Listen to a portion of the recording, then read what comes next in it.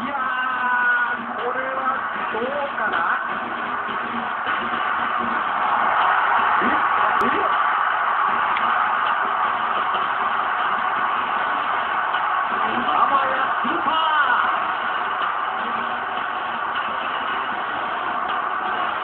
島東洋カープに3度目の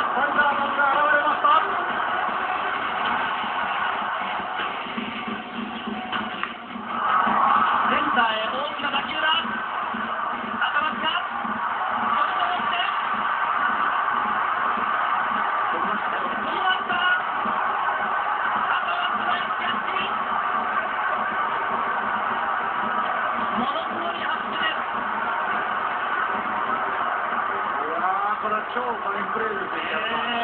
れはね、山本由彦から金一封ですよ。も